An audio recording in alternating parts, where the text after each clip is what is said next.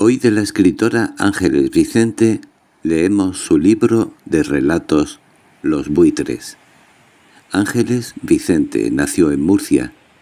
De adulta, su vida transcurrió entre Argentina y España durante principios del siglo XX. El libro de relatos Los buitres es de cuentos psíquicos que pueden enmarcarse dentro del género fantástico y que están poblados de fenómenos, de presencias sobrenaturales y recreaciones de estados patológicos de la mente. Ahora damos comienzo al primero de estos cuentos que lleva el título Los buitres. Espero que sean de tu agrado. Los buitres. Un cuento de Ángeles Vicente. Le seguimos en silencio, cogidos de la mano, y penetramos en un cuartucho vacío con las paredes desconchadas y grandes ventanas sin vidrios ni maderas. Despuntaba el alba. Una vez dentro, el doctor que nos guiaba se volvió hacia nosotros. «Comprendo», nos dijo, «que esta peregrinación a través del sueño os aterrorice. El poder escudriñar todo aquello que piensan los hombres de bueno y de malo, el poder prever lo que urdirán mañana en defensa de sus ideas o de sus preocupaciones, tiene algo espantosamente extraordinario. —¿Y dónde estamos? —pregunté intranquilo. —Os lo explicaré. —¿Pero tembláis? ¿Sentís frío? ¿Tenéis miedo? En efecto, temblábamos, dando diente con diente y en la cara de mis compañeros se reflejaba el mismo temor, la misma inquietud que yo sentía. —¿Dónde estamos? —insistí. —Pronto lo sabréis, pero ante todo quiero demostraros que soy superior a los demás hombres. Quiero enseñaros lo que sois y lo que deberíais ser. Figuraos que con mi descubrimiento podremos ver a través de los muros, podremos penetrar lo impenetrable. Yo hago lo que quiero con la materia. He descubierto la fuerza superior que todo lo gobierna por una ley de transformación y evolución. Sobre mí ya no hay nada. No ignoro nada. Por un momento creí que el doctor estaba loco. Mis compañeros callaban y se miraban asombrados. Un miedo supersticioso se apoderaba de nosotros al vernos aislados ante aquel hombre extravagante en aquella casa, lejos del poblado, solo frecuentada de innumerables buitres que entraban y salían por las ventanas. —¿Me comprendéis? ¿Os dais cuenta de la importancia de mi descubrimiento? Continuó el doctor. Ni más ladrones, ni más asesinos, ni más castigos. Las enfermedades serán eliminadas porque se conocerá su causa y evitada la causa no existirán los efectos. Las anormalidades psicológicas y nerviosas serán disciplinadas de manera que tendremos un aumento notable del buen sentido y de la perfección. ¿Os parece poco? Evidentemente, pensé, el doctor padece una monomanía. Hace quince días que me persigue con el cuento y con la pertinaz ostentación de su descubrimiento maravilloso. Si eso fuera posible. Es cierto que... Interrumpió mis pensamientos, abrió una puerta casi escondida en el muro y con el tono más inocente del mundo nos dijo «Entrad». Obedecimos, y nos encontramos en un pasadizo lóbrego y húmedo. Animales raros y hediondos dormitaban en jaulas que cubrían las paredes. Un olor desagradable de algo selvático nos obligó a contraer la cara con repugnancia. «¡Adelante!»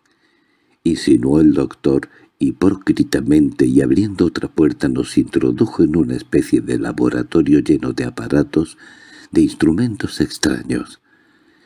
Alineados en perfecto orden, A lo largo de los muros se destacaban numerosos frascos de vidrio que contenían conservados en alcohol abortos misteriosos de todas formas y dimensiones, violáceos, amarillos, blancos. «Ahora oídme», continuó después de cerrar satisfecho la puerta. «El cerebro del hombre es el mayor, el más terrible foco de infección de la misma humanidad. El cerebro de la bestia, con relación al sistema cerebral humano, ofrece la ventaja de que aunque piense, no traduce en actos filosóficos sus pensamientos. En cambio el hombre tiene necesidad de esta transformación de su fuerza activa en fuerza expansiva. Entonces, ¿comprendéis? y clavaba en mí sus ojillos grises metálicos como si quisiera leer en mi interior todo cuanto yo pudiese pensar de él, de su descubrimiento, de su casa, de sus bichos, de sus abortos y de sus ideas. Parecía mirarnos con lástima y con desprecio al mismo tiempo. Sus palabras me producían una impresión extraordinaria. De pronto me preguntó, «¿En qué piensas?» «En nada», Dilo con franqueza. Pero, no sé, estoy atontado, pensaba. Se sonrió. Comprendí que se burlaba de mí. Pero no me importaba, mi único deseo era plantarlo cuanto antes, sustraerme a su dominio, a su fascinación diabólica y absorbente. Mis compañeros callaban y observaban. «¿Veis esos frascos?» prosiguió el doctor. En ellos guardo el producto de mis experimentos, la comprobación de que el cerebro del hombre es un terrible foco de infección, porque precisamente de él han salido todas las miserias. Todas las miserias de la tierra, todas las maldades, todas las tiranías, todas las iniquidades humanas. Él lo ha infectado todo pensando las cosas más absurdas, combinando mil disparates, atribuyéndose todo poder, tomándose como término de parangón de cuanto existe de cuanto no existe, caminando de desatino en desatino al pretender remediar con su alocada fantasía las miserias por él creadas, la fatiga cotidiana de tener que obedecer y bajar la cabeza para no ver más que el suelo y vivir siempre entre los mismos objetos y las mismas personas sin llegar siquiera a entenderse con ellas. Vosotros sois para mí una cosa cualquiera como el primer caviche que encuentro a mano, desde el momento en que, como él, os puedo manejar a mi antojo. Sí, todos sois iguales con los mismos defectos y las mismas virtudes. Dios nos libre de las virtudes de los hombres. Cayó un momento. Sin embargo, advirtió. ¿Quién puede negar una excepción? Tal vez vuestro cerebro. Dejar que satisfaga una curiosidad. Necesito vuestro cerebro, el vuestro. Pudiera ser... Retrocedí asustado. Mis compañeros se miraron unos a otros sin decir palabra. «No tengáis miedo», añadió. «Es cosa de un momento. No padeceréis y recobraréis enseguida vuestro actual ser y estado. Ven aquí», me dijo, Tiéndete en esta cama. Así, valiente, no temas. Te sometes voluntariamente, ¿no es cierto? Contra mi voluntad, pero sin podérmelo explicar, obedecía aquel verdugo científico. Él continuó mirándome y me cogió la cabeza entre las manos. «No tengas miedo». ¡Tac! Sentí un golpe rápido. Me había descubierto el cráneo con un bisturí. No padecía. En efecto, oía su voz, sentía sus manos. Por último percibí una impresión de frío y sangre. Fue hielo en mis venas.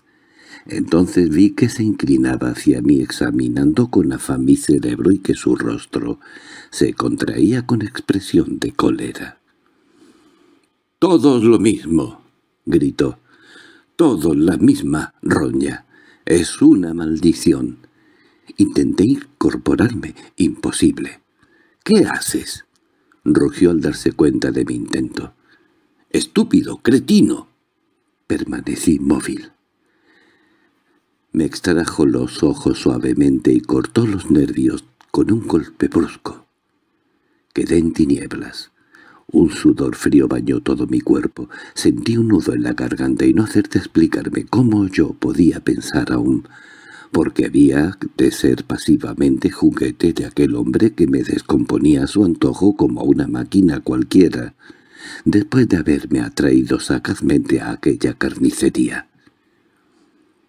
Me acarició y me enjugó el sudor. Después me dejó en paz y repitió la misma operación con mis compañeros. Ninguno se opuso ni dijo una palabra. De pronto nos vimos transformados.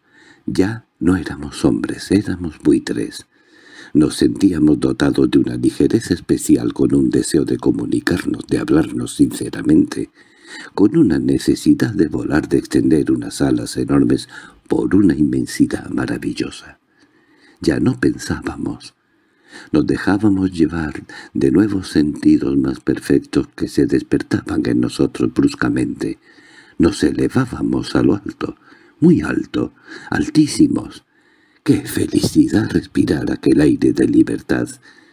Atravesar la capa de plomo que pesa sobre nosotros, oprimiendo nuestras cabezas.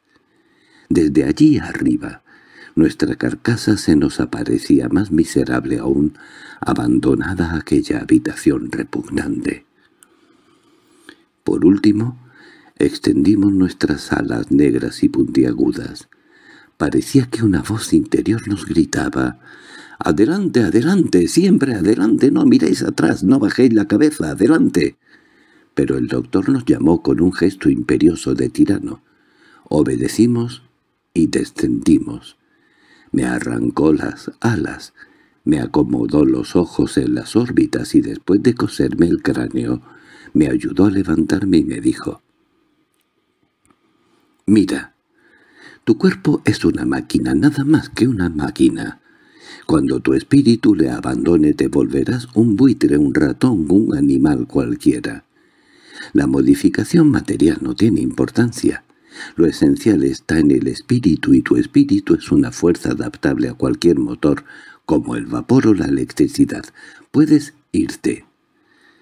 Me acompañó hasta la puerta y una vez allí me miró con aire de compasión. «Todos sois iguales», exclamó. «Tu libertad está muy lejos.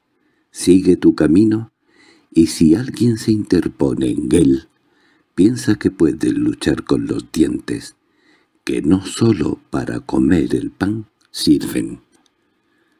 Fin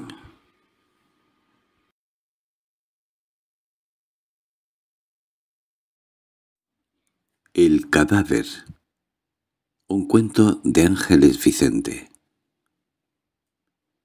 Gerardo estaba recostado entre almadones sobre una chaise longue. Era este un joven de veinticuatro años, delgado, pálido. El cabello negro y abundante le caía en mechones sobre la frente. Sus ojazos sombríos, melancólicos, tenían esa expresión desolada que delata a los enfermos incurables. Hablaba lentamente con el criado mientras éste sacaba unas maletas de la habitación. «Es inútil que metas las medicinas», las dejaré sobre la mesa. Te recomiendo mis cartas. No tema, las he guardado en la caja de hierro. Dame la llave. ¿Cuánto falta para las siete? Veinte minutos. El tiempo apremia. Salimos a las siete y cincuenta. ¿Lo has arreglado todo? Sí, señor. Apaga la luz, que ya es de día. ¿No habrás olvidado algo? No, señor. Abre el balcón, tengo calor. ¿No le hará mal, señor? No. ¿Me crees tan enfermo? Oh, no, señor, al contrario, me parece que ahora está usted mucho mejor. Bueno, vete a buscar un coche y haz que el cochero te ayude a bajar las maletas. ¿Has oído? Sí, señor. Cierra esa puerta, es extraño. Tenía calor y ahora tengo frío. Tosía violentamente y su cara se había cubierto de mortal palidez. Los primeros rayos de sol penetraban por el balcón. Cierra bien todo y empuja la cheselonga al sol. ¿Así? Sí, así está bien. Ve a donde te dije. El sirviente salió y Gerardo se acomodó nuevamente entre los almohadones. Tosía lentamente a intervalos. Una puerta se abrió con precaución y en su marco apareció una hermosa joven. Vestía una elegante bata de casa. —¡Gerardo!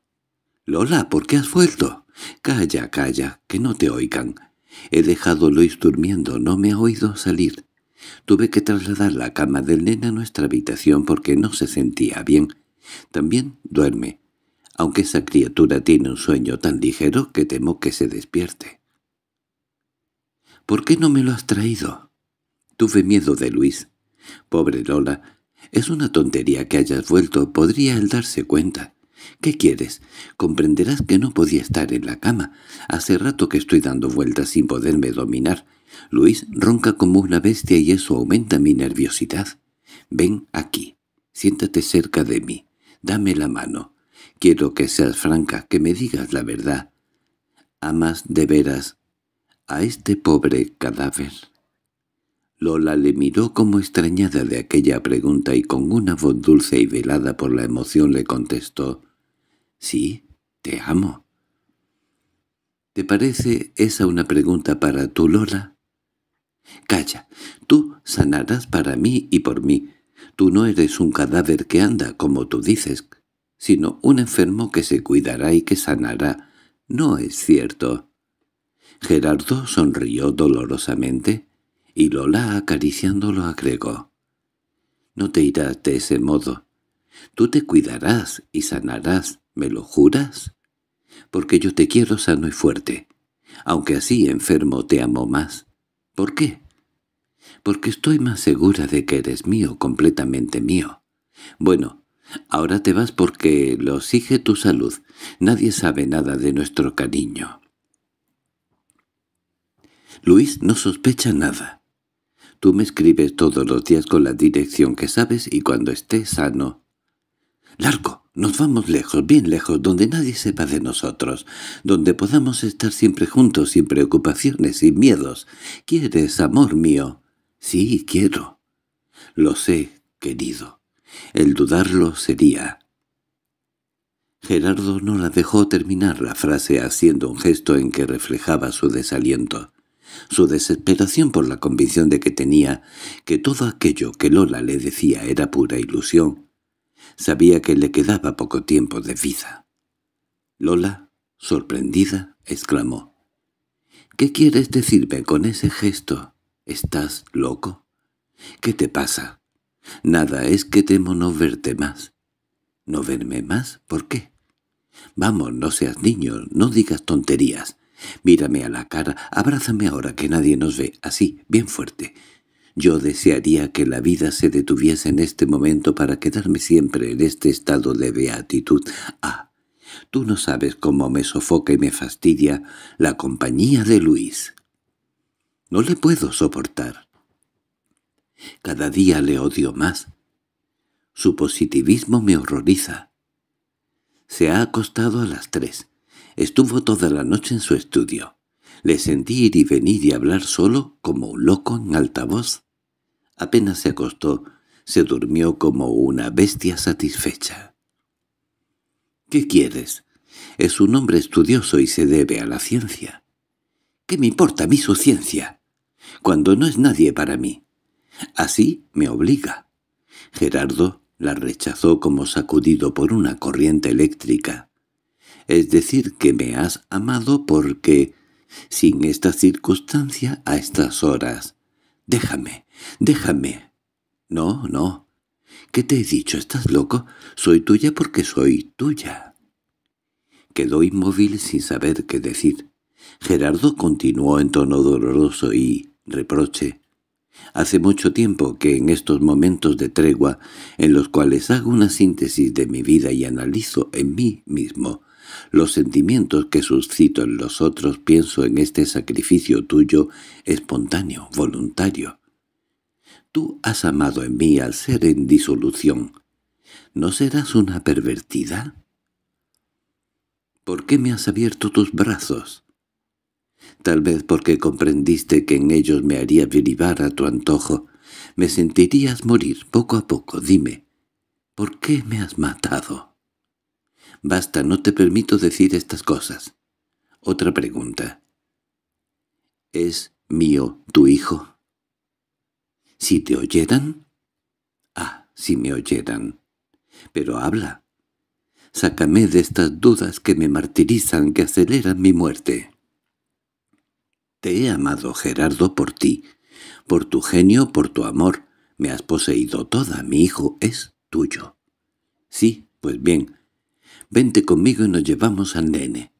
Irme contigo. ¿Y no piensas? ¿Qué dirán? ¿Y Luis?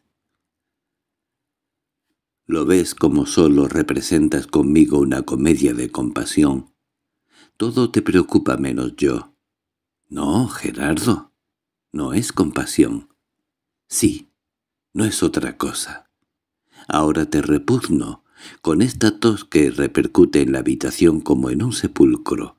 Has venido porque sabías que estaba peor y sentirías un remordimiento. He venido porque te amo desesperadamente. ¿Cómo mientes? Di la verdad. Dímela de una vez. Necesito hablar, claro, sé que me queda tan poco de vida. Tal vez horas solamente. Quiero que sepas que lo comprendo todo, que no me voy engañado como un niño, sino con la convicción de toda la horrible verdad. Pronto te quitaré el tormento de mi existencia que te pesa en el alma como una maldición. Ah, no, no digas eso, Gerardo. Tú te olvidas de que yo he hecho por ti, Tú me echas en cara mi amor desfigurado en una ficción ridícula. Lola se echó a llorar. Gerardo cambió de tono ante las lágrimas de ella y continuó. «No, no olvido nada, si eso fuera así. Quítame este peso del alma. No llores. Sabes que no resisto a tus lágrimas. Yo creo que Luis sospecha algo. ¿No?» ¿Y por qué no me ha querido inocular su suero? Porque me manda fuera, lejos, cuando yo me muero, cuando yo siento que por momentos me faltan las fuerzas. Estoy preparado a todo. Sé mi fin. Solo me revelo a la idea de deberme de ir, sin embargo. Un golpe de tos convulsiva le cortó la palabra. Lola le presentó cariñosamente una taza de leche que él rechazó siguiendo en su idea. ¿Por qué no me quiere inocular su suero? Si está seguro de la eficacia de su descubrimiento. Espera el resultado de sus experimentos. ¿Y acaso puedo yo esperar? ¿No me estoy muriendo? ¿Pero no te acuerdas que te lo inoculé yo? ¿No recuerdas en qué momento de dicha aquella noche que te desmayaste en mis brazos? No me lo recuerdes. ¿No habría sido un heroísmo inútil? Si no hubiera sido aquel. No pude equivocarme. Lo cogí de su escritorio, donde sé que no tenía otros sueros. He conservado el tubo como una reliquia. Lo tengo en el bolsillo. Pero ya no tengo fe en nada. Quisiera que todo terminase conmigo. Soy egoísta, pero los otros son felices, los otros viven, yo muero. Tú vives y vivirás, por nuestro amor, porque yo te quiero sano, porque tengo la obsesión de tu carne, de tu aliento, necesito respirar el aire que tú respiras, quiero todo tu ser. Te perdono todos tus insultos porque sé que el amor no reflexiona, sé que eres mío y vivirás para mí. Ah, si dependiese de mi voluntad, si pudiera mandar en mí mismo, vuelve a tu fuerza, Lejos de ti esta enfermedad. Pero no ves mi cara. No oyes mi tos. ¿No ves que me moriría en tus brazos? Es una manía tuya. Una manía, pero Lola. Vuélvete a tu habitación. No te comprometas ya que no quieres seguirme. Luis podría despertarse y... llamarte. Tendría derecho en tanto que yo no soy nadie para estar aquí contigo tan temprano habiéndonos despedido anoche. Corre, que me parece que siento pasos. Adiós. Besa al nene. No te engañas. No viene, seguirá roncando como un caballo. Dame un beso. ¿No te doy asco? Pero vete, por favor, que oigo a Luis. Te digo que no. Abrázame así, bien fuerte. Ah, me haces daño. La puerta se abrió con violencia, y Luis penetró en la habitación bruscamente. Lola con un movimiento rápido se desprendió de Gerardo, que quedó como desmayado. Luis, cruzado de brazos en medio de la habitación con calma aparente y sonrisa irónica, dijo —¿Estorbo vuestra despedida? ¿Cómo está el primito querido? Lola con voz temblorosa contestó. —Mal, ya lo ves. —¿Por qué te ha llamado? Eh, contesta. —No me ha llamado. —¿Y tú? —dirigiéndose a Gerardo. —¿No te ves? ¿Qué haces? ¿Dónde está tu criado? ¿Quién le dio orden de dejarte solo? Ah, ah. Te aprovechas de los momentos oportunos. Parece que te sientes con coraje. ¿Te permites? Lola dijo implorando. Luis, por piedad, piensa en su estado. Ah, ¿aún está usted aquí, señora? ¿Quiere usted defenderlo? ¿Pretende usted imponerme silencio por consideración a su estado? ¿Y qué consideración se ha guardado él, que conoce su mal la proximidad de su fin y que no lo puede eludir, que sabe que usted es madre, en fin, Dígame usted qué consideraciones ha guardado él.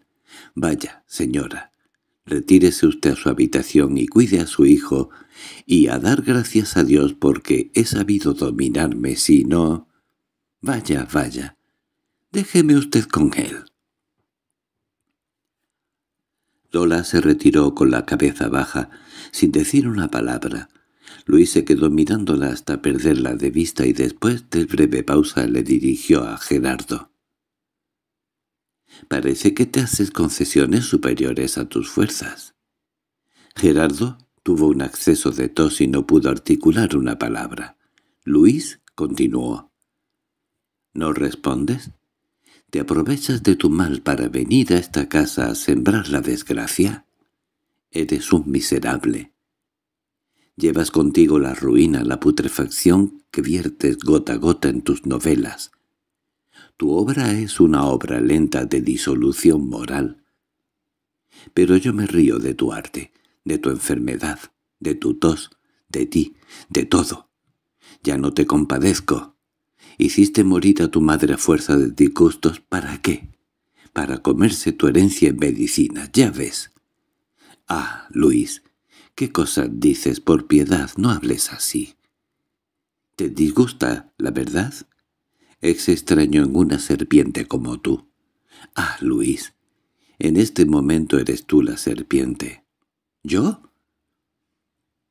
Y bueno, sí, y te voy a ir picando despacito hasta que te acabes de morir, porque tú ya estás medio muerto. Escucha, Tú no conoces la gratitud, no tienes respeto ni a ti mismo, crees que después de tu yo no existe nada más, que todos deben obedecer a tu capricho. Gerardo, pálido, descompuesto, temblando exclamó, «No es cierto, no es». «Déjame hablar». ¿Sabías que Lola, todas las mujeres, se dejaría ofuscar por un tipo como tú, yo lo sospechaba. Ahora tengo la puebla tangible y dime, ¿la quieres mucho tú a tu primita? Ella debe quererte desde el momento en que es una... No le insultes. ¿Por qué? Sería gracioso no poder decir «no». ¿Qué derecho tienes para impedírmelo? Vamos a ver, ¿Qué derecho tienes sobre mi mujer? Sobre la madre de mi hijo que mañana podría envenenármelo con los besos que tú le has dado. Basta, basta, mátame. No me hagas sufrir de este modo. ¿Que te mate? No lo he hecho antes cuando me pude haber dejado llevar por un momento de reflexión. Sabes que soy frío, calculador, que conozco la responsabilidad y el código, y quieres que lo haga ahora que logré dominarme. que sé que te estás muriendo, que te faltan pocos minutos para acabar de una vez. ¿No sabes que ya eres un cadáver que habla, que mueves la boca porque los músculos se contraen por sí solos y emites la voz porque tus cuerdas vocales tendrían que contar aún quién sabe cuántas infamias? Fíjate, ya no puedes moverte, ya empiezas a sentir el frío de la muerte. —¡Basta, Luis! —No, no basta. Tú debes morir ahora, enseguida, muere. Gerardo se sentía morir en realidad. Las fuerzas le abandonaban, un sudor frío corría por todo su cuerpo. Comprendía el propósito de Luis y queriendo sustraerse a la sugestión de aquella terrible mirada que le ordenaba morir, exclamó con un ímpetu de llanto. «¡No! ¡No quiero morir! ¡No me mates así!» «Sí, sí, quieres morir. Es inútil que te rebeles. ¿Por qué lloras? Te sientes ya sin fuerzas. Es natural. Muere. Muere, muere. Cobarde. Conoces tu poder y mi debilidad y me matas así para no afrontar el castigo. Sí. ¿Y no te parece que sería estúpido ir a presidio por un canalla como tú? ¿No te parece que mi existencia vale más que la tuya? Yo podría salvarte si quisiera. Pero no quiero. Quiero que mueras enseguida. Ah, el suero. Sí, mi suero. Mi suero me da los mejores resultados. Aquel muchacho al que lo inoculé hace tres días está vivo. ¿Estás seguro? ¿No te engañas? No. ¿Por qué esta pregunta? Porque yo también sanaré. Como tú también. Sí, porque me lo inoculó Lola. ¿Lola? No puede ser. Mi suero lo tengo siempre bajo llave. Te habrá inoculado el suero antirrábico que tenía en mi escritorio. Así sanará tu bilis. Gerardo sacó del bolsillo, temblando, el tubo que conservaba como una reliquia y se lo dio a Luis. Este lo miró, y con su sonrisa sarcástica le dijo, «Sí, sí, lo reconozco. Es Pasteur. Lo tenía para la hermana del jardinero. ¿Te creías en salvo? Te engañas. Soy tu amo. Te tengo en un puño como una mosca. Puedo hacer de ti lo que quiera. Y por eso morirás. Porque yo quiero que mueras. Luis. Luis. Luis, sálvame. Desde el momento que lo puedes, sálvame para ser más noble en tu venganza. ¿Es tu egoísmo el que habla? Sálvame, sé más noble.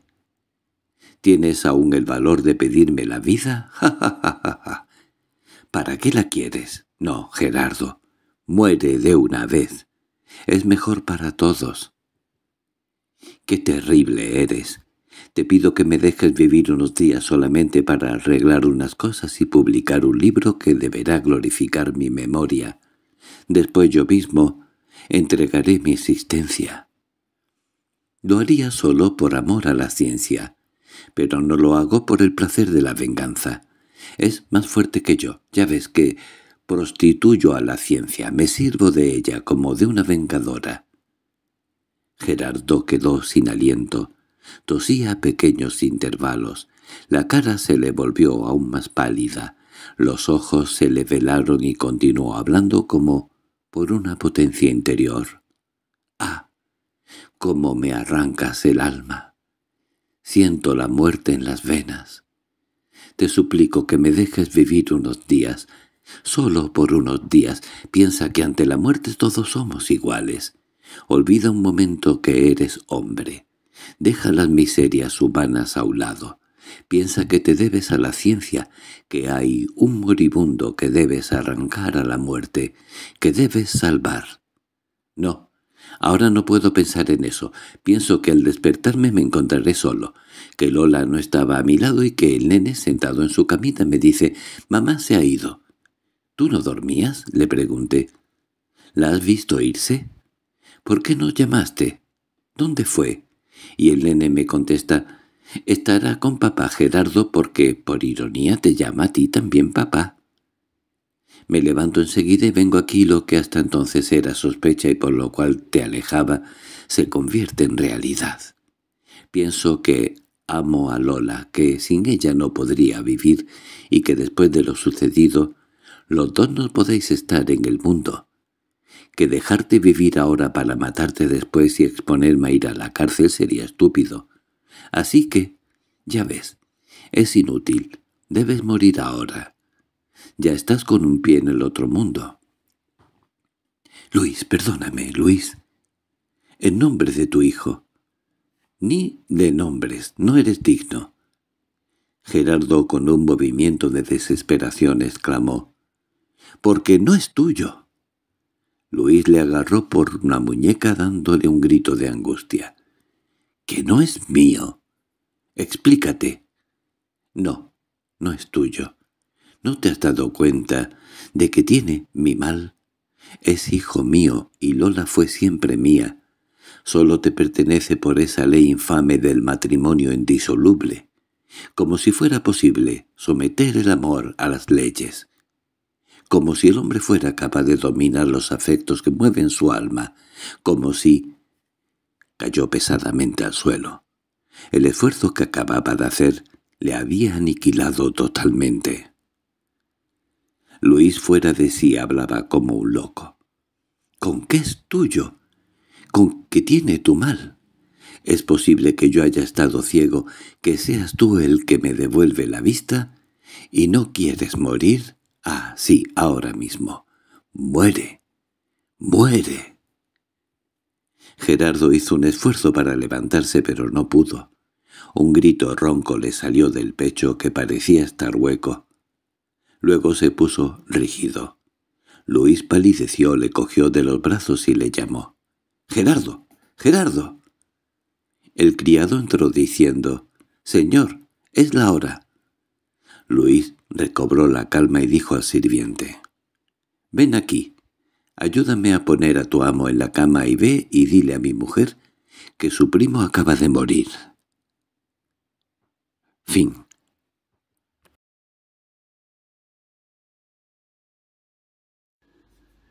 Historia de árboles. Un cuento de Ángeles Vicente. Era una familia como existen hace muchos siglos, padre, madre e hijos. Un macho, una hembra y toda la corte de parientes. Unos gruñones y otros bromistas. Los abuelos viejos álamos rugosos y apercaminados habían muerto bajo la segur de los leñadores. La familia vegetaba mansamente según el viento. El tiempo y la gracia de Dios, gracia muy relativa porque en opinión de los fisiócratas la naturaleza sabe siempre lo que hace, aunque esto no sea cierto. Vegetaban tranquilos. Después vinieron los amores. Un día, la hija, una alamita lozana y gigantesca de tronco desnudo y esbelto como de plata, se encontró llena de retoños en su alegre despertar primaveral. El amante fue otro álamo, viejo bonachón rugoso y calvo de esqueleto huesudo y algo contrahecho, una especie de don Juan barbudo y panzón. El idilio entre el álamo libertino y la bella alamita floreció bajo los mejores auspicios. De noche, al sereno, a la luz de las estrellas enviaban los ruiseñores mensajeros. Estos gorjeaban y ellos susurraban cariñosamente como si se desflorasen. Parecían cambiar mutuamente largas sonrisas, de esas sonrisas que sabemos conceder a los que queremos bien, en las cuales se esconden tantos deseos más o menos culpables. La culpa es una atribución exclusivamente humana. En el lenguaje a la la culpa no es más que una frase sin sentido. De modo que ellos se amaron. Por lo demás, ¿quién podía impedirlo? Aquella unión resultaba tan simpática que hasta los añosos árboles ajenos a la familia los alentaban con el rumoroso ondulamiento de sus venerables cabelleras. Era una especie de incesto ideal entre un viejo y una criatura llena de gracia. Pero otro día un mirlo negro como una noche plantó su nido en la alamita. Tan encantada quedó ella, de la gracia con que el mirlo se abandonaba, de la elegancia con que volaba, que se enamoró de él perdidamente. El álamo libertino lloró en silencio. El viento se encargó de enjugarle las lágrimas, porque el viento es para los árboles consolador y verdugo. La alamita también sufría inenarrablemente. Cada día se hacía más esquelética. Se despojaba de sus hojas, se consumía, pues no encontraba un lenguaje preciso con el cual poder hablar a su enamorado. Se contentaba con mecerlo en sus cien brazos lánguidamente, y lo protegía del mejor modo posible entre el ropaje de sus hojas mientras lloraba, desconsolada de verse incomprendida. Los días pasaban. Los álamos vivían en un continuo cuchicheo. Parecían haberse vuelto seres humanos, quien murmuraba, quien refería los dichos y las charlas, y no faltaba hasta quien calumniase. Una noche, el álamo libertino dijo a la alamita, «Alamita linda, ¿por qué quieres hacerme sufrir así? ¿No ves cómo me consumo en lágrimas silenciosamente?» Los alamitos que han nacido de nuestra unión se lamentan sin descanso de tu abandono. ¿Por qué no quieres volver al antiguo afecto? Yo te daré todo lo que quieras. Te cederé mi parte del sol. Me contentaré con adorarte en silencio, con no vivir más que por tus dulces miradas, con poder apenas desflorarte la cabellera fugazmente, sin que tú lo adviertas, así como he hecho tantas veces. Escúchame, alamita linda. Pero la alamita permanecía impasible y se derretía cada vez más al canto del mirlo, que por la mañana saludaba al sol apenas aparecía, hasta que un día un cazador cruel mató al cantarín. La alamita quedó inconsolable, y el álamo libertino entonces, que el obstáculo había desaparecido, comenzó de nuevo sus lamentos sentimentales y sus platónicos discursos de día y de noche, infatigablemente. La alamita estaba cansada de oírlo, y para subtraerse al suplicio angustioso de todos los días condescendió en volver al antiguo afecto, pero reservándose, como hacen todas las mujeres, el derecho de traicionarlo con el primer imbécil que la ocasión le presentase, y ésta, naturalmente, no faltó. Ahora el álamo libertino callaba y pensaba, «Llegará la hora». Mientras tanto, extendía sus raíces más y más hacia la alamita, movía el terreno con diligencia y excavaba con cuidado para poderla abarcar. Pasaron los días, los años tal vez, y una noche espantosa de viento, de huracán, a la entrada del infierno, el álamo libertino ahogó entre sus raíces a la alamita. Lo mismo que un marido celoso te habría ahogado a ti, santa ingenuidad de los cabellos blondos y de los senos duros como los de Venus. Fin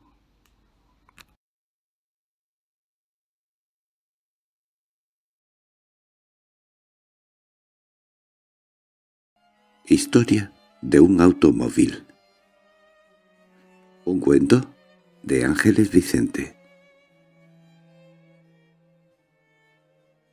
Reinaba en el lugar de la catástrofe profundo silencio, interrumpido tan solo por el viejo automóvil que, hundido en el polvo, medio deshecho, soplaba, jadeaba, como poseído de un sufrimiento interior. ¿Que os cuente mi historia? ¿La de ellos? ¿Cómo fue que? Se calló un momento. Luego continuó con violencia. «Ah, ellos son la causa de mi ruina, de mi dolor». Yo era feliz. No anhelaba nada y toleraba con paciencia los amores de los hombres cuando se acogían a mí y me tiranizaban, convirtiéndome en dócil auxiliar de sus placeres. A pesar de que nuestra voluntad es pasiva y sujeta a un dominio superior, nosotros, máquinas, tenemos cuerpo y alma como los hombres. Día vendrá a fin en que tengamos también voluntad libre y activa. Ya hoy nos rebelamos alguna vez contra nuestro tirano cuando, perdida la razón en la embriaguez satánica de la velocidad, nos arrastras más allá, ignorado, fuera del confín de toda prudencia. Este antagonismo latente y feroz entre la máquina poderosa y el tiranuelo jactancioso que la guía se manifiesta alto frecuentemente. Nuestras víctimas son innumerables.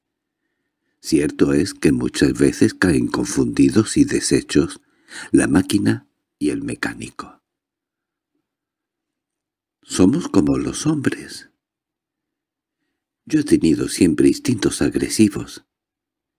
Al pasar por mi lado un coche a gran carrera, con alegre sonar de cascabeles y trotar de piafanes caballos, se apodera de mí un sobresalto indefinible.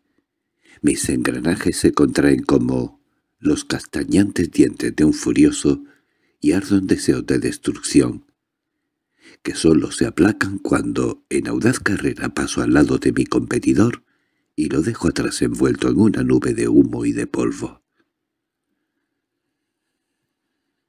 Pareció recogerse un instante en un recuerdo terrible, después prosiguió. Ahora escuchad el relato de esta aventura angustiosa. ¿Queréis saber la verdad?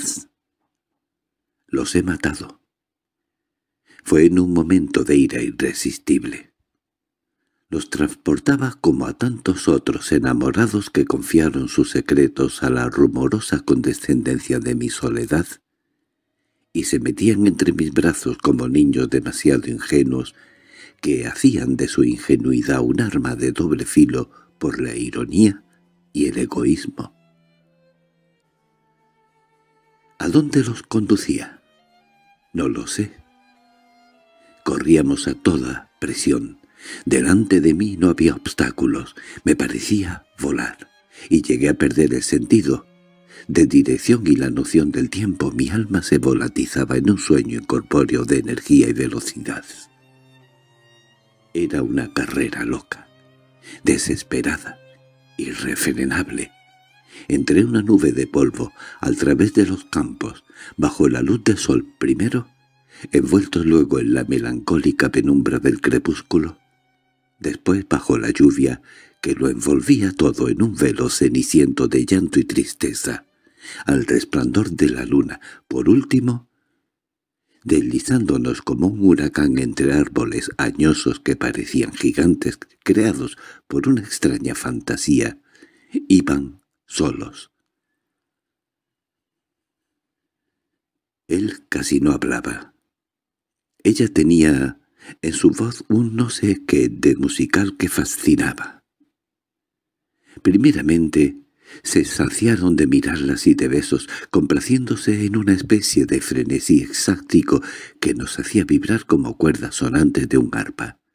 Era el ímpetu de una pasión tranquila y vehemente que no tenía esas explosiones que hacen el amor un vértigo. Largo rato transcurrió de este modo. Luego hubo como una crisis.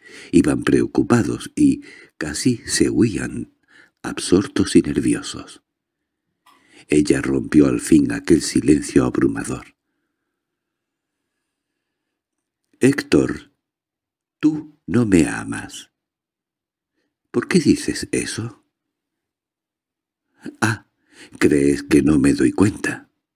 Si lo veo en tu proceder conmigo, lo adivino en cada gesto, en cada palabra, en cada pensamiento, porque sé sorprender en tu alma por esa extraña sugestión, por esta especial simpatía que me arrastra hacia ti.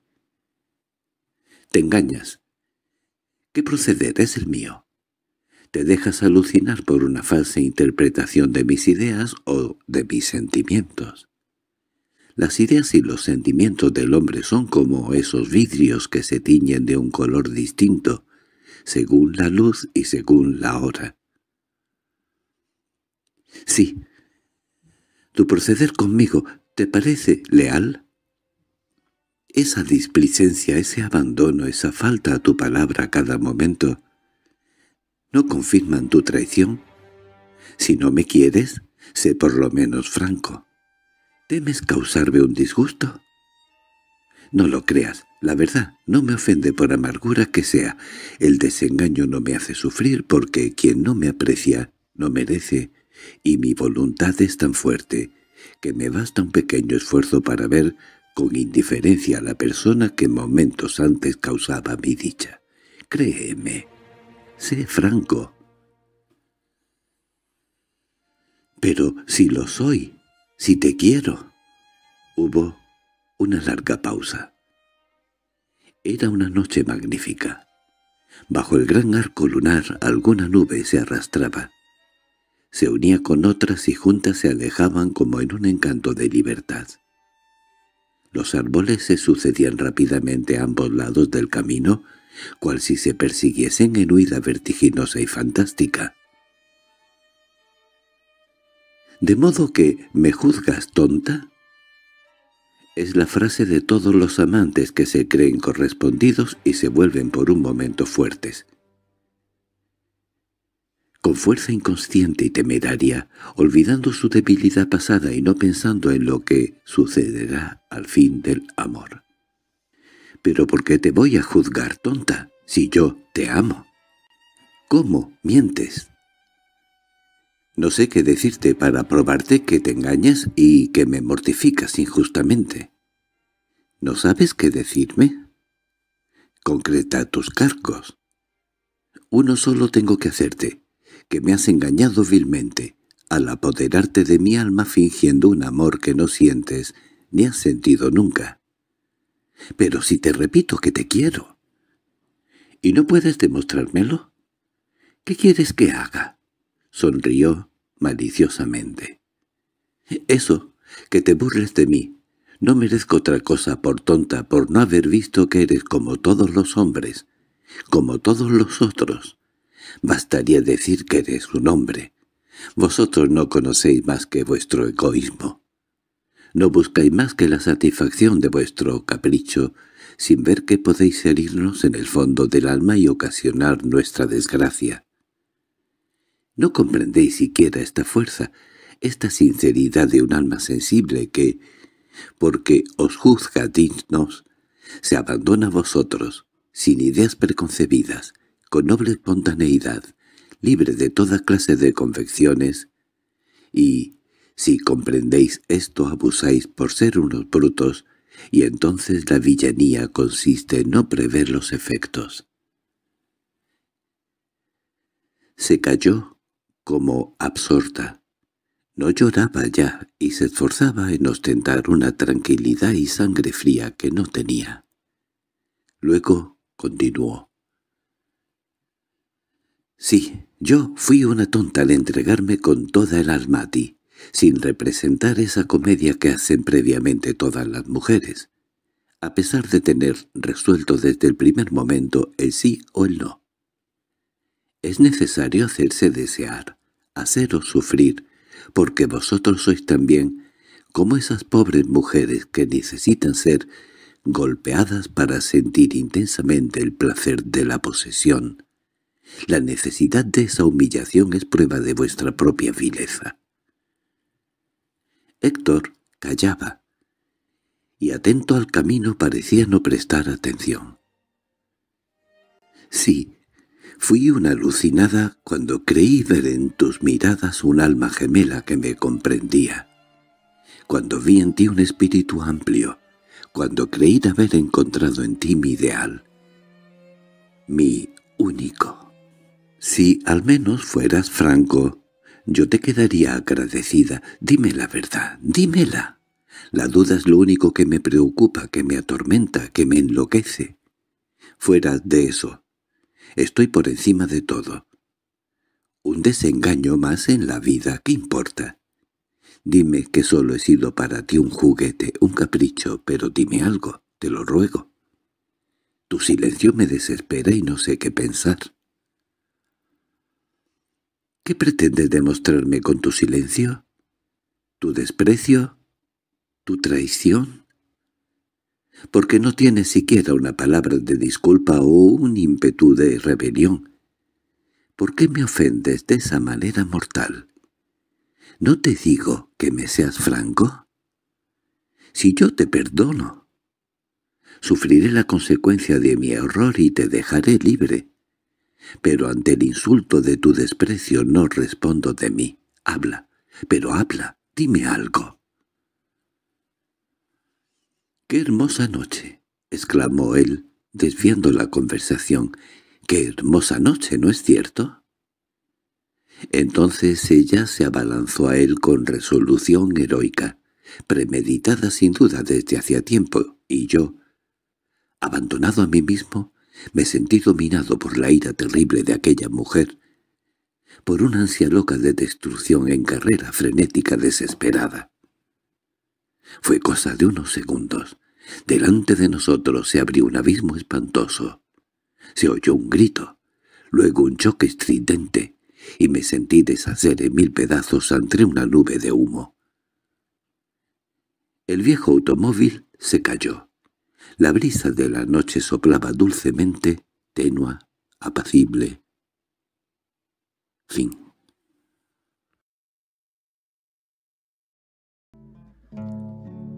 La sorpresa. Un cuento de Ángeles Vicente. El carcelero ha entrado esta mañana en mi celda más borracho que de costumbre y me ha contado todas las charlas de la prisión. Me ha dicho que las presas se quejan del maltratamiento, de la camadura y del agua sucia y verminosa. Después, dejándose caer en el suelo como un caballo viejo y cansado, se puso a suspirar. —¿Qué tiene usted, Paco? le dije. —¿Yo? Nada. El aguardiente que me ataca la cabeza. Guardó silencio, pero siguió suspirando. Yo miraba sus manos.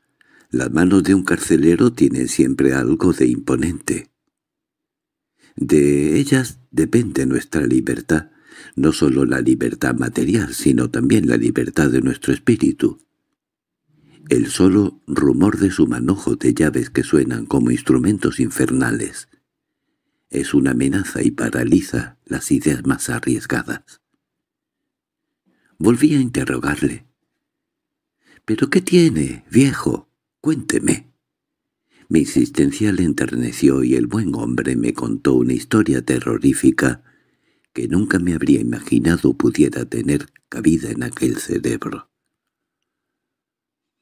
Hoy ha vuelto. Terminó. Aún la veo aquí, en mi departamento. Entró por la ventana dejando un rastro de flores y se me acercó hasta tocarme y me tiró de la barba diciéndome «¿Cuándo acabarás, bruto animal incorregible?»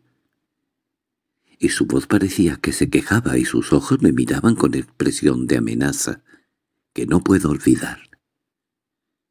—¿Pero quién? Me miró frunciendo las cejas con un gesto terrible y exclamó, «¿Quién?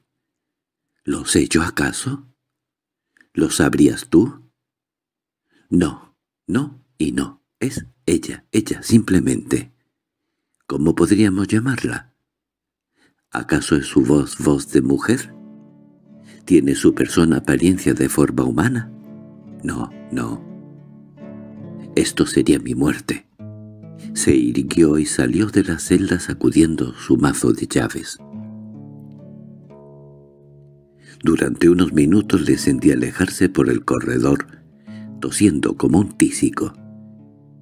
y aún, a ratos, el rumor de su bozarrón avinado.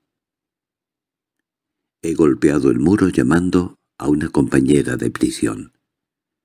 ¿Sabes que Paco está nervioso? El viejo Paco, nuestro amo y guardián. Ella se reía a carcajadas. Lo sé, lo sé. Ha andado toda la mañana de celda en celda contando una historia imposible. Creo que se ha vuelto loco. Es necesario protestar porque si nos dejan en sus manos nos moriremos de hambre. Esta noche iré a hacerle compañía. El día ha pasado como tantos otros. Un día de prisión, largo, eternamente largo, infinitamente largo, lleno de tedio y de malos pensamientos. Por la noche ha vuelto Paco, y me ha dicho, tranquilamente, «Vengo a dormir aquí, porque tengo miedo». Mi celda estaba a oscuras. Paco dejó su linterna en un rincón, proyectando la luz contra la pared y se sentó en mi banco. Su actitud era serena, pero le temblaba la voz. Yo no sabía qué hacer. Si esta noche, pensaba, patrona encuentra la manera de venir, como me ha dicho, a hacerme compañía y a hablar de nuestros planes revolucionarios, Paco la verá, y estamos perdidas. Busqué el modo de comunicarme con ella. Imposible. Al fin me resigné, con lo que pudiera acaecer, pero no pude dominar mi inquietud y permanecí con el oído atento al menor ruido, al tic-tac del maldito reloj del torreón, a los pasos de la ronda, que de cuando en cuando cruzaba los patios vacíos y silenciosos.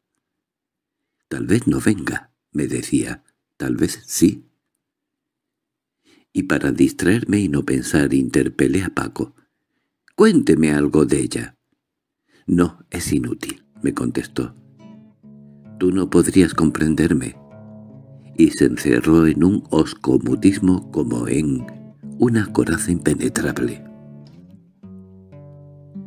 La proximidad de aquel hombre misterioso, que no quería hablar, que tenía miedo y pedía protección como un niño, excitaba aún más mis nervios. De pronto se levantó y se puso en acecho. «Es Petrona que viene», pensé. «Ahora la descubrirá y estamos irremediablemente perdidas». Retuve la respiración. Las sienes me martirizaban como si fuesen a estallar. Me pareció oír un leve ruido.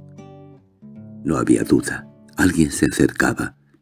En el corredor crujía el piso tenuemente bajo el paso furtivo y lento de alguno que no quería ser oído.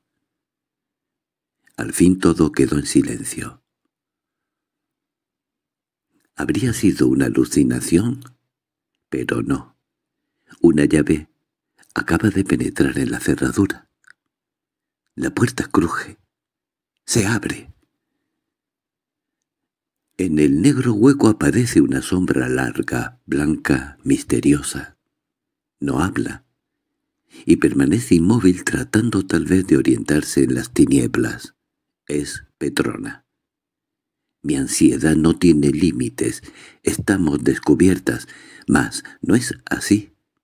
Paco ha retrocedido asustado, corriendo de un lado a otro con desesperación, tentando las paredes como si buscara un hueco donde esconderse y se ha guarecido lleno de espanto en el ángulo más lejano y oscuro, suplicando por todos los santos y por todos los demonios que lo dejen en paz, que no lo torturen más, que él no ha hecho mal a nadie. Mi compañera de prisión, que se había detenido aterrorizada, se recobra al darse cuenta de la situación. Avanza un paso resueltamente, coge la linterna y enfoca un círculo de luz vivísima al aterrorizado guardián, que tembloroso, suplicante, con la faz desencajada y los ojos desmesuradamente abiertos, arroja las llaves y gana la puerta de un salto, desapareciendo en las negruras del corredor. Petrona me abraza nerviosamente y, Recogiendo las llaves, me arrastra consigo. «No hay tiempo que perder», me dice. Acechaba la ocasión de apoderarse de estas llaves. «Ven, nos esperan, somos libres». Y nos alejamos en la oscuridad. Fin La trenza Un cuento de Ángeles Vicente La puerta se abre suavemente y una corriente de aire frío penetra en la habitación. Una habitación humilde de estudiante bohemio. Sobre la mesa de noche se ve la mitad de un cráneo y sobre el pupitre, en revuelto montón de libros, papeles y restos de esqueletos, clavículas, falanges, una tibia gigantesca. Atilio ha estudiado esta tarde, después, rendido, casi extenuado, se ha tendido en el lecho que en estos momentos de cansancio es su paraíso terrestre. Algún rumor llega desde la calle. Son los últimos trasnochadores que se retiran a sus viviendas. Reina en la casa profundo silencio. La lámpara se apaga. Y he aquí que de la puerta abierta, cual de esa puerta eterna y misteriosa por donde pasan todos los sueños, se precipitan multitud de negros fantasmas. Uno, otro, otro, otro más. Pronto está llena la habitación. Se oyen voces tenues como suspiros. Duerme. Dejémoslos estar. Está cansado. Si pudiéramos vengarnos no, dejadle.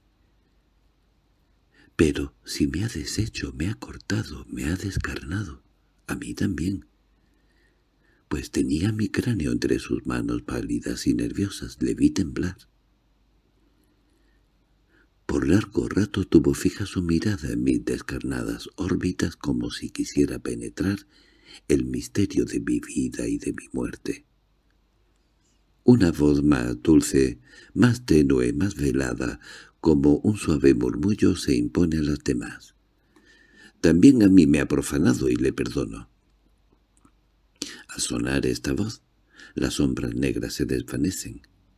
En tanto una sombra vaga, informe, blanquecina como un jirón de niebla, se aproxima al lecho y se inclina al oído del estudiante que duerme profundamente. Le habla. Atilo, soy yo, tu Elena. ¿No me reconoces? Hace pocas horas que tuviste en tus manos indiferente y cruel. ¿No me reconociste? Estaba tan desfigurada, tan cambiada. Has descarnado mis pobres huesos, has fatigado tu vista, has puesto toda tu voluntad de operador en mi materia mortal, y pensar que tendrías miedo de ti mismo si, la voz se dulcifica. Si habrías tenido miedo. No me conoces aún. ¿Por qué tiemblas si soy yo, Elena, tu Elena? ¿Quieres saber lo que fue de mí durante tu ausencia? ¿Para qué? La vida... La vida es solo un tránsito. Qué ridículas parecen ahora mis penas de entonces y qué infantiles mis alegrías. ¿Para qué quieres saber lo que fue de mi vida lejos de ti? No vale la pena relatar aquel suplicio. Imagínate las mayores humillaciones, las más grandes miserias. Fui presa de codicias brutales, de explotaciones inicuas, de infames vilezas. Ah, tampoco entonces hubieras tú reconocido a tu Helena, desgranada y caída. La muerte tan estúpidamente temida me redimió al fin y me trajo a tu lado. Dejó a mi espíritu que volase libre a tu encuentro y te entregó mi cuerpo. Mi pobre cuerpo inerte y lacerado en una sala anatómica, delante de unos arrogantes escépticos. No me reconociste. Me viste lívida, desnuda, tendida sobre la mesa, cerrados los ojos, los miembros casi descompuestos, y no sospechaste siquiera que aquel cuerpo había sido incentivo de todas tus ilusiones. ¿No quedaba en nada de aquella belleza que te deslumbraba? Un profesor flaco, huesudo, de voz estridente, Me mostraba a sus alumnos describiendo las impurezas de mi piel, las deformidades de mis miembros enfermos. Luego empezó a seccionarme con un bisturí. Pero, ¿sufres? ¿Te horrorizas? Tranquilízate, no sigo. Olvidaba que tú vives aún la vida material y he alterado tus nervios. El fantasma vacila y embudece. Otros fantasmas se acercan y rodean el lecho fundiéndose y compenetrándose con fluidez maravillosa. El primero se reanima por fin y habla de nuevo al dormido, inclinándose sobre el lecho con solicitud maternal. Nada temas, yo velaré por ti. Antes de morir, ¿sabes? Quise escribirte.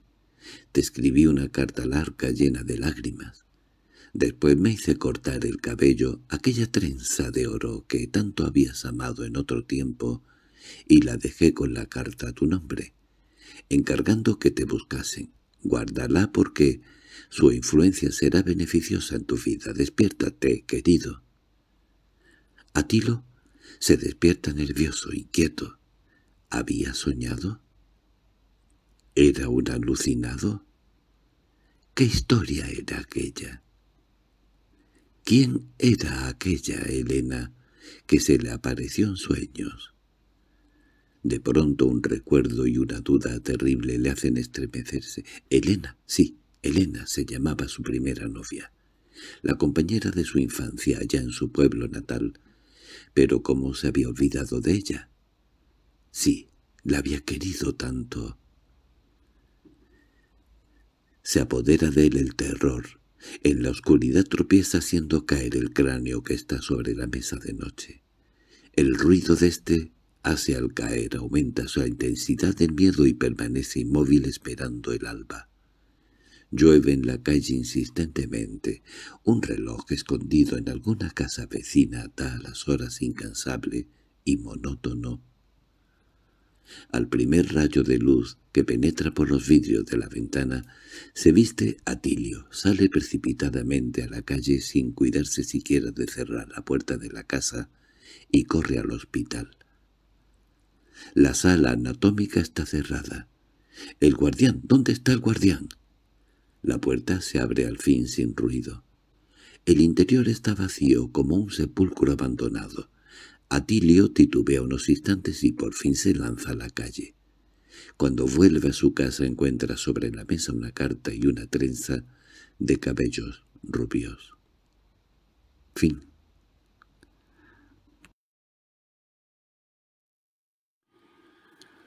Una extraña aventura. Un cuento de Ángeles Vicente. Octavio estaba en el balcón de su cuarto contemplando absorto las estrellas como si quisiera descifrar en ellas el enigma de sus problemas sentimentales.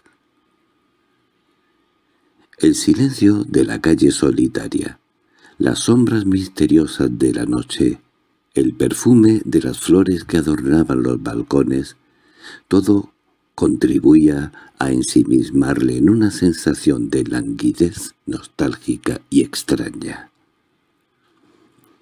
Una comparsa de jóvenes que desfiló bajo su balcón tañendo guitarras y bandurrias interrumpió su sueño.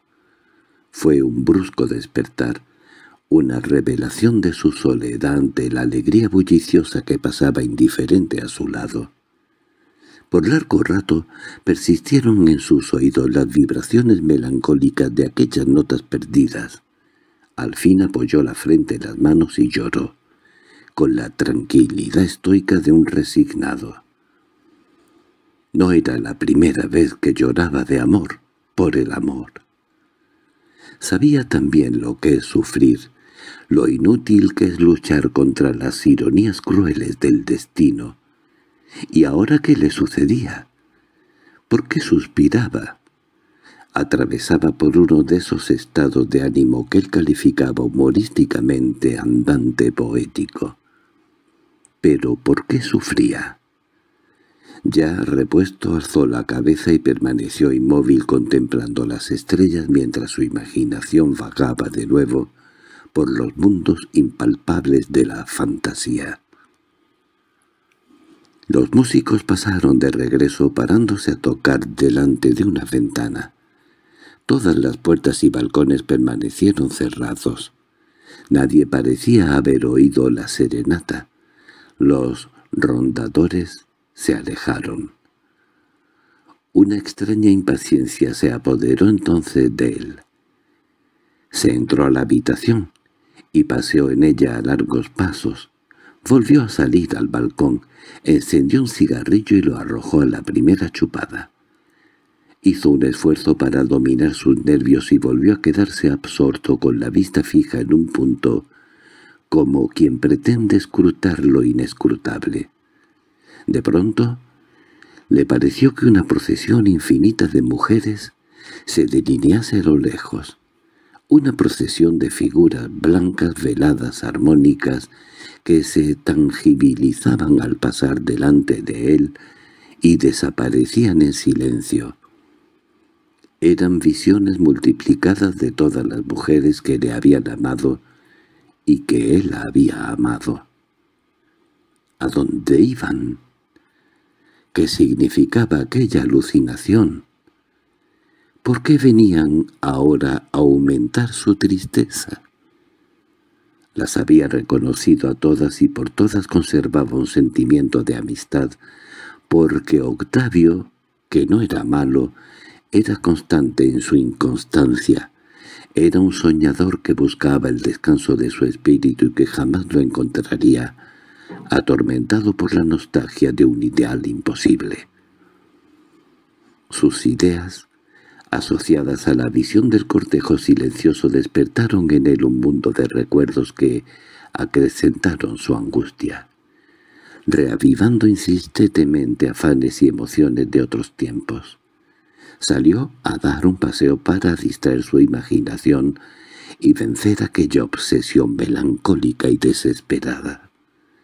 Largo rato vagó calmosamente por la ciudad dormida, complacido entonces en su soledad, escuchando con extraño deleite el resonar solemne de sus pasos en las calles sombrías y medrosas.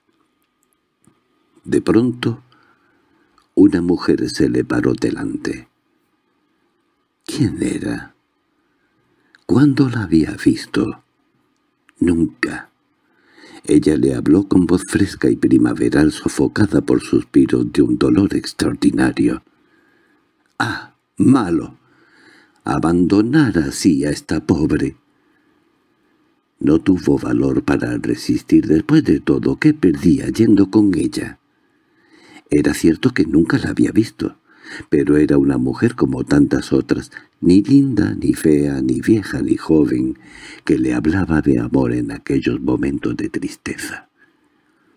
Su espíritu gozaba con esta nueva aventura que se le presentaba en un momento de desaliento y, cuando menos la esperaba, la mujer continuó su súplica. «Sí, vente conmigo». Sufro extraordinariamente porque tengo celos.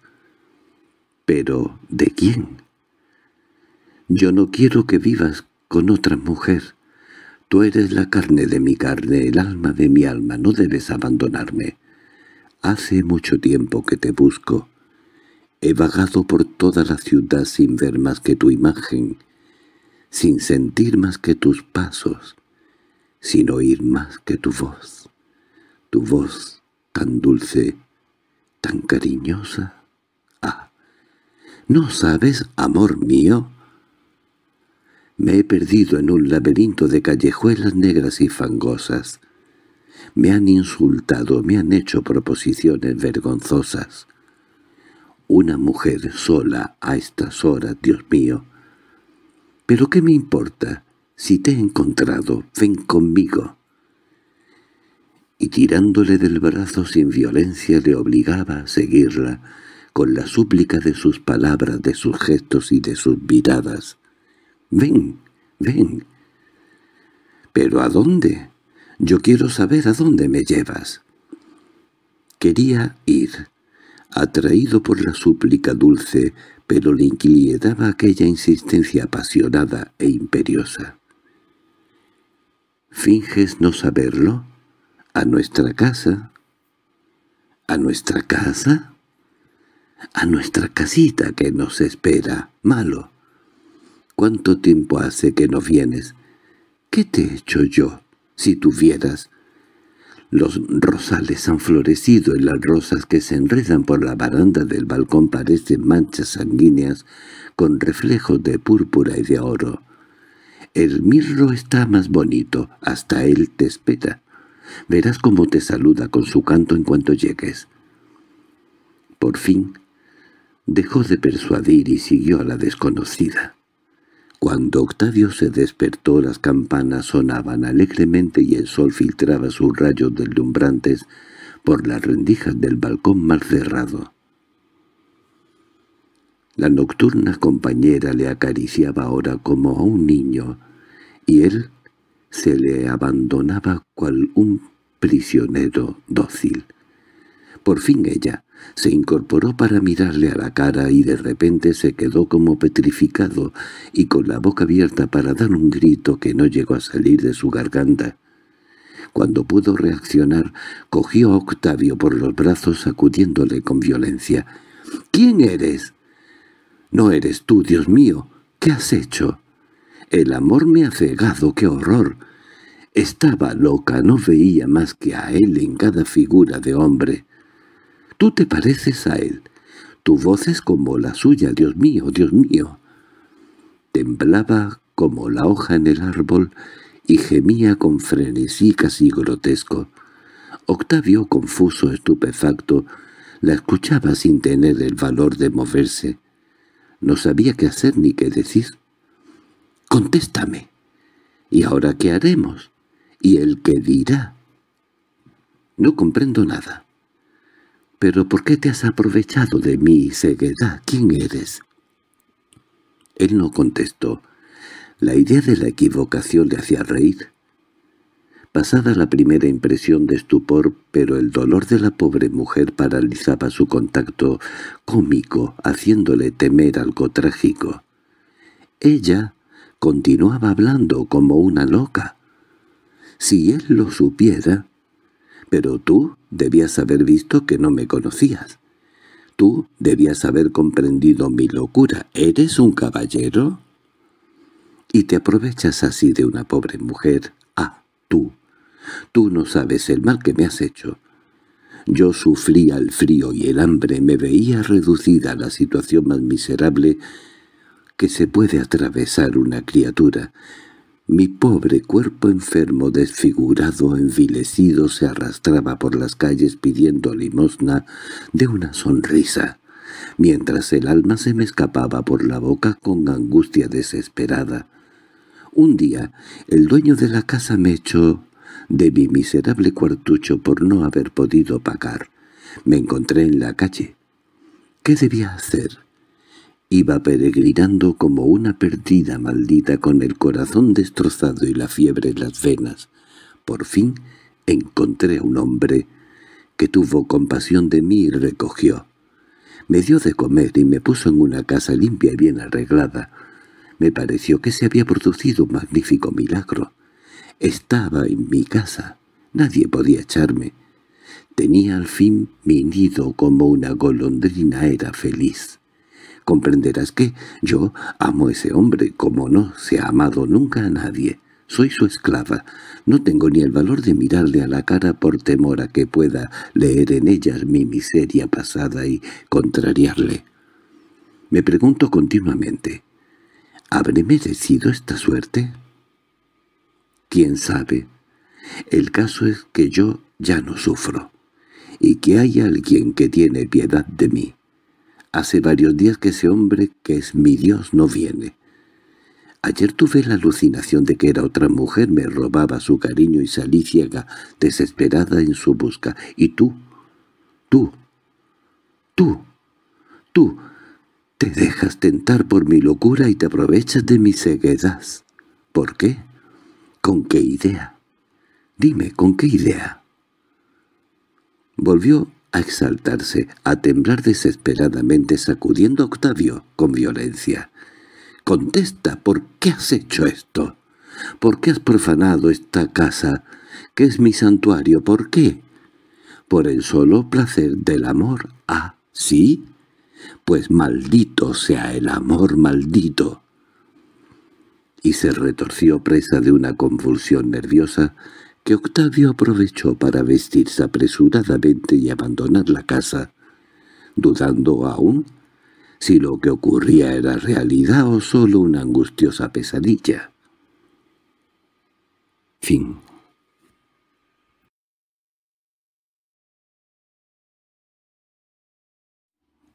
Cuento absurdo. Por Ángeles Vicente El problema social fue definitivamente resuelto por Guillermo Arides, el anarquista más terrible y genial de los tiempos pretéritos, presentes y futuros. Cultivador apasionado de las ciencias físicas, había ideado la manera de destruir la humanidad en un segundo, utilizando para ello ignorados fluidos interplanetarios, acumulados y dirigidos con precisión admirable mediante un complicado aparato de su invención. En un momento determinado oportunamente quedarían aniquilados los hombres y cuantos animales son a él semejantes en su constitución física. Nadie podría salvarse, a no ser él, Arístides y los por él elegidos entre sus más adictos correligionarios de ambos sexos. Como Arides no había hecho misterio de sus trabajos, fue detenido y llevado ante el juez. Pero cuando expuso tranquilamente su proyecto de aniquilar el mundo, se burlaron de él, le creyeron rematadamente loco y calificaba su locura de inofensiva, le dejaron en libertad. Sus mismos amigos fueron a dudar de su razón, tal era la magnitud de la empresa. Sin embargo le secundaban y obedecían, sugestionados por su persuasiva elocuencia de iluminado. En tal estado de cosas llegó el día magno y el apóstol y sus elegidos se congregaron en el amplio laboratorio. «Hermanos», dijo Arides a sus adictos, os he llamado porque ha llegado la hora de concluir con la tiranía existente, con todos los privilegios, con todas las infamias. En un segundo será destruida la obra maléfica de tantos siglos, y sobre este planeta no quedarán más habitantes que nosotros, los reunidos en este recinto aislado convenientemente. No tendremos ya más leyes que nuestros instintos, a vosotros quedará encomendada la alta misión de fundar una nueva humanidad. Nuestra libertad será nuestra dicha. Todos le escucharon en silencio. Las mujeres sentían miedo. Los hombres se mantenían a la expectativa incrédulos pero tampoco exentos de temor. Arides continuó su discurso yendo al mismo tiempo de un lado a otro de su laboratorio para dar la última mano a sus aparatos. Luego se volvió los circunstantes. —¿Estáis dispuestos? —preguntó. —¿Os sentís desligados del resto de los hombres? ¿Deseáis como yo su destrucción para que de entre sus cenizas surja una nueva humanidad libre y perfecta? —Sí —contestaron todos subyugados. —Cúmplase nuestro deseo —exclamó Arides, a su vez sonriendo beatíficamente y aproximándose al aparato propulsor, movió una pequeña palanca. Un grito de espanto se escapó entonces a todos los que circundaban. La atmósfera se había inflamado con resplandor, y una violenta sacudida estremeció la tierra. Arides se volvió a sus camaradas con gesto triunfante. «Consumatum est», gritó alzando los brazos. Sus compañeros ya repuestos le miraron con estupor. Estaban conmovidos, inquietos, pero la duda se reflejaba en sus semblantes. ¿Era admisible que la humanidad pudiese ser destruida tan fácilmente en un instante? Arides lo advirtió. —¿Dudáis de mi obra? —les dijo. —¿No os indica nada ese silencio absoluto? Escuchad. La vieja humanidad ha muerto. En efecto, un silencio de muerte los rodeaba, no turbado siquiera por el rumor del viento en aquel día apacible. El rodar de coches, tranvías, las voces de los vendedores ambulantes, el canto de pájaros, los ruidos todo armonía complicada de la vida que momentos antes llegaban en confusión hasta el amplio recinto habían cesado. Un escalofrío de terror estremeció a todos. «Venid a recorrer la ciudad», prosiguió Arides, «y os convenceréis». Le siguieron consternados. Las calles y las plazas estaban sembradas de cuerpos rígidos, inertes. Los tranvías habían descarrilado por falta de dirección. Un automóvil se había estrellado contra un muro, otro había volcado y las ruedas seguían girando al aire vertiginosamente. Algunos transeúntes se mantenían de pie inmóviles. Ismael, el más joven de los sobrevivientes, tocó a uno de estos cadáveres y lanzó un grito de horror al verle desplomarse pesadamente. Aride se sonrió y lo animó a continuar la marcha. Entraron en las tiendas y en las casas se encontraron al paso. La escena se repetía.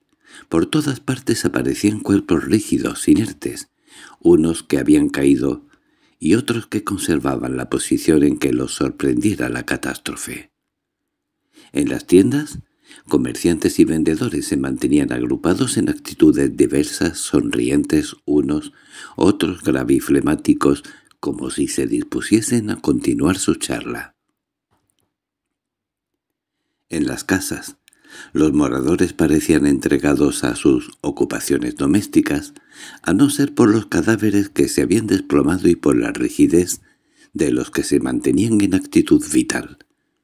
Se podría aún dudar del cataclismo. Una sirviente se inclinaba ante el fogón. Una joven planchaba a su lado. En un gabinete aparecía un señor grave que leía repatingado en un sillón. En otra estancia preparaba su tocado íntimo una dama elegante. Vueltos a la calle, un cortejo fúnebre cuyos acompañantes habían caído unos encima de otros, les impidió el paso obligándoles a dar un rodeo. «Son muertos que acompañan a un muerto», exclamó Arides irónicamente.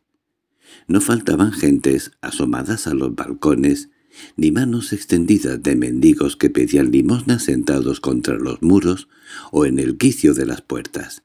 Aquí y allá se veían perros inmóviles en la aptitud de la carrera, avecillas muertas, coches parados como si el cochero se hubiera caído del pescante con un resbalón del caballo.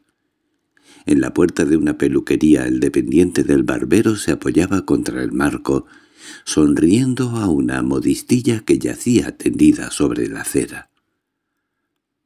Al desembocar en una plaza, se vieron forzados a detenerse ante una compacta masa de cadáveres allí agrupados, muchos de ellos de pie y en actitud expectante, como si aún escuchasen a un orador silencioso que extendía los brazos desde un gran balcón.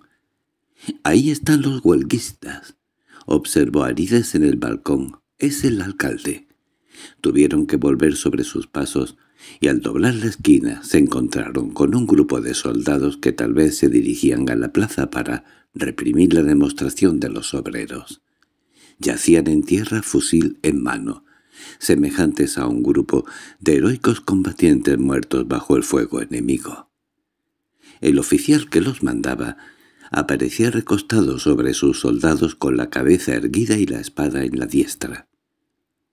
A alguna distancia se levantaba una iglesia y a ella se dirigieron, penetrando decididos en el recinto. Un sacerdote se erguía ante el altar. La luz oscilante de los cirios iluminaba vagamente las caras estáticas y compungidas de los fieles en plegaria. Arides y sus acompañantes permanecieron allí un rato, curioseándolo todo. Se habían acostumbrado al espectáculo y se sentían fuertes ante la general mortandad. —¿Has visto ese viejo? —dijo uno de los hombres a su compañera. —Parece un santo —contestó ella. —Por eso está mejor en el otro mundo —exclamó Arices. —Vamos, Salieron y continuaron su marcha. Calles y calles se sucedían y por todas partes se reproducía el mismo espectáculo. —¿Estáis ya convencido del éxito de mi obra? —preguntó al fin Arides a sus compañeros. —Sí —contestó uno—, ya no cabe duda. Pero ahora lo malo será cuando estos cadáveres se descompongan. Tendremos una epidemia. Todo está previsto. Podría incendiarlo todo en un momento, pero no es preciso. Me basta mandar la misma corriente por espacio de unos minutos para que todos esos cuerpos queden reducidos a polvo. Vamos a mi laboratorio y lo veréis. Efectivamente, agrupados todos en el laboratorio, hizo Arides funcionar su aparato durante unos minutos. Después volvieron a recorrer la ciudad. El aniquilamiento era completo. Allí donde habían estado los cuerpos solo quedaban montones de trapos. Arides dirigió entonces a sus camaradas un largo discurso, diciéndoles que se instalasen donde quisieran e hicieran lo que les diera la gana, de acuerdo con sus doctrinas, que todo era de ellos y que a ellos les tocaba iniciar una nueva generación libre y feliz. «Aprovechad cuanto encontréis a mano», terminó. «Pero no amontonéis dinero, pues que ya no ha de serviros para nada. La tierra es nuestra». El grupo se disgregó después de breve deliberación, husmeando cada cual un acomodo con arreglo a sus gustos y Arides se volvió satisfecho a su casa, llevando consigo a la compañera elegida. La nueva sociedad se había instalado y multiplicado a su gusto, no sin algunas contiendas por el reparto de las cosas y por las mujeres, aun cuando Arides había procurado evitar disgustos. Las luchas más serias se suscitaron cuando tuvieron que comentar la fatiga de labrar la tierra en vista de que las provisiones se iban acabando. No tardaron por último en aparecer la ambición y el orgullo con su séquito de envidias y rencores, y como consecuencia, la lucha del hombre por tiranizar al hombre, en la cual llevaron la peor parte los humildes y los débiles. Parecía que la naturaleza se complacía en imponerse a aquellos rebeldes que habían querido burlarla. Las doctrinas de Arides ya no tenían eco. Había luchado Arides para establecer la nueva sociedad con arreglo a su ideal, pero estaba cansado. Veía lo inútil del empeño, presenciaba apenado el resurgir de los instintos más brutales entre aquellas criaturas libres que no comprendían que al pretender tiranizarse se convertían en esclavos. Había tenido necesidad de imponerse y sabía que le obedecían por miedo, ya no era un hermano para sus compañeros sino un enemigo, y que él mismo veía otro enemigo en cada uno de ellos y se arrepentía de su obra. Una noche, reunidos todos en torno a Arides, discutían como de costumbre. «Yo ya no os aconsejo nada», decía Arides contestando a una interrogación. «Vosotros pretendéis establecer de nuevo las pasadas costumbres. No queréis vivir en paz. Estáis llenos de ambiciones. Rompéis con nuestra tradición empezada ayer. Restablecéis la propiedad. Hacéis que nuestras ansias de perfección sean vanas. Continuáis la historia bárbara y despiadada de cien siglos de servidumbre y de mando, y deseáis transmitirla a vuestros hijos. «La culpa la tiene éste», exclamó uno pues se empeña en apropiarse todo lo bueno que encuentra a mano. ¿Cómo que se ha instalado en un palacio y no deja entrar a nadie? «Ese palacio es mi casa», repuso el inculpado. «Me lo he apropiado como tú te has apropiado de otras cosas, y ya no entrará nadie porque tengo perfecto derecho a vivir en paz». «Yo protesto», manifestó otro, «de las molestias que me impone Maninlo» se empeña en que yo he de ser su criado. Todo porque él es más ilustrado y más inteligente que yo. —¿Y qué harías tú, bruto imbécil, si yo no te guiase? —gritó Manlio. —Lo malo está —dijo Ismael— en que el trabajo se reparte mal porque no todos tienen la misma voluntad de trabajar. Si yo produzco diez, quiero mis diez. Si tú produces diez, contestó Manlio, debes conformarte con uno y recoger los otros nueve de la producción de los demás. Pero si los otros no producen como diez, o la producción es inferior, o a mí no me hace falta siempre, saldré yo perdiendo en el reparto porque produzco más. Ahí está Sixto, que le da ahora por ser poeta. Voy yo a darle parte del producto de mi trabajo a cambio de unos versos que a mí no me sirven para nada y que ni siquiera sé ni me importa si son buenos o malos. Eso no es trabajo. Yo por mi parte, interrumpió Esther, la más bella y codiciada de las sobrevivientes, deseo separarme de mi compañero Honorio. —¿Por qué? —exclamó Honorio con mirada centelleante. —En uso de mi derecho. Arides ha dicho que todos somos libres. Di que has perdido la cabeza al verte tan obsequiada por todos. —Eso es verdad —asintió Asciscla con ira. A mi hombre lo han trastornado, pero chasco te lleva si crees que yo lo voy a consentir. Tienes razón, Esther —observó otro. Ella es libre y si quiere separarse de Honorio nadie tiene por qué impedírselo. —Se separará de Honorio —gritó una voz varonil—, pero no para de irse contigo. —Eso lo veremos. —Ni con el uno ni con el otro —exclamó otra voz. Esther me ha prometido ser mi compañera si se separa de Honorio. —¿Y crees que yo te voy a permitir que me dejes plantada? —chilló una voz femenina, vibrante de ira. «Soy muy dueño de hacerlo. Aquí no hay derecho sobre nadie. Pero hay deberes». «Es que, Esther, parece que se ha propuesto volvernos locos a todos. Querrá ser la reina». «Lo es por su belleza», gritó Sixto. «Ya viene este con sus ínfulas de poeta». No admitimos reyes ni reinas, será de quien se la cane. Mía, a ver si hay alguien que se atreva a disputármela. Yo, y yo, y nosotros. La confusión fue espantosa. Los puños cayeron como mazas sobre los rostros irritados y las bocas profirieron toda clase de imprecaciones y denuestos. Arides se impuso con gesto irritado y voz amenazadora, y los contendientes se fueron cada uno por su lado, refunfuñando como fieras que sólo esperan la ocasión de destrozar al domador. Aquella noche se retiró Arides a su casa más abatido y desengañado que nunca. ¿De qué le había servido tantos años de sacrificio y estudio? ¿Qué esperar de aquellas criaturas tan brutalmente egoístas? ¿Qué hacer?